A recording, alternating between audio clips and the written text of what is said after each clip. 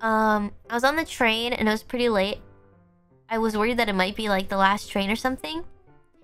And it, I think it was like on a Saturday. So a lot of people out, you know, drinking and stuff. And there was this lady who was like kind of passed out.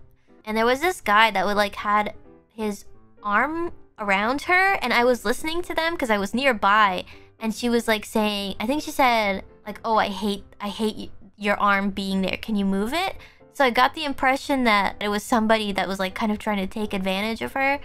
And I guess may maybe I'm like nosy because most people weren't like really paying attention. They were just minding their own business.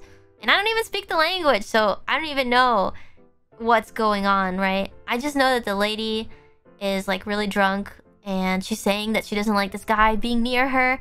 So um, I stayed on until she got off. So then I got off and like I got off after them. And so I asked the guy, "Daijoubu desu ka?" And he was like, "Oh, daijoubu, daijoubu, daijoubu." But I don't know. It seems like sketchy because she was she could barely like walk. And yeah, maybe he did know her, but she's like her her body language was completely turned away from him, and she like had her head against the wall and like she was trying to get him to stop touching her.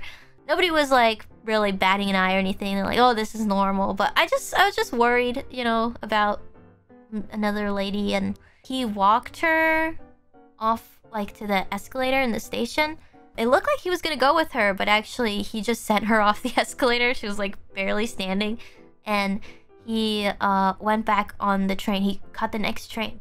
I don't know if maybe I hadn't asked anything. Maybe he would have tried to like go home with her or something. I don't even know if she would be able to get home on her own. I, I don't know if maybe he would have tried to take her home or something, but he just sent her off and yeah,